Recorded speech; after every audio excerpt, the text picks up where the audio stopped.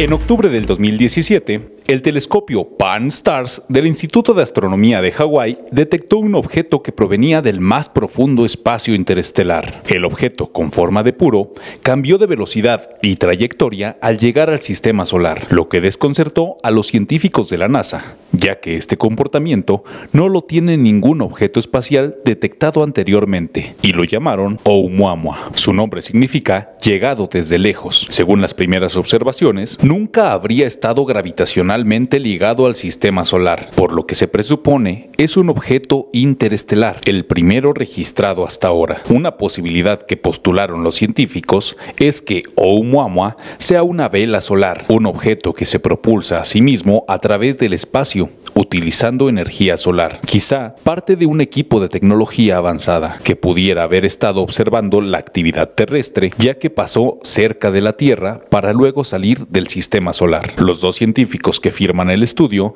dicen que la velocidad de Oumuamua puede ser explicada por variaciones en la presión de la radiación solar. Si esto es así, Oumuamua es o bien un nuevo tipo de material interestelar natural distinto a los que conocemos hasta ahora, o bien es un de origen artificial. Parte de la comunidad científica recibió la noticia con escepticismo, porque como dijo una vez Carl Sagan, una hipótesis extraordinaria requiere evidencias extraordinarias, y este estudio no las tiene. Para el sistema de noticias de TV Libertad con imágenes de Javier Soto, informó Héctor Almaguer.